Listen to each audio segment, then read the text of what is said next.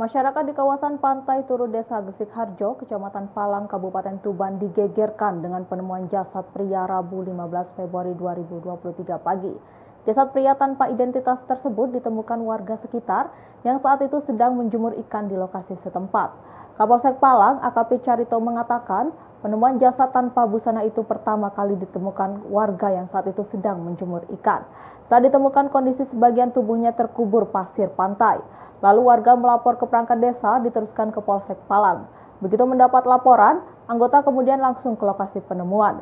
Perwira pertama itu menjelaskan kemungkinan korban meninggal selasa malam atau selasa sore. Selanjutnya polisi langsung menghubungi tim BPBD Tuban dan petugas kesehatan untuk mengevakuasi guna dilakukan identifikasi oleh tim Inafis Polres Tuban.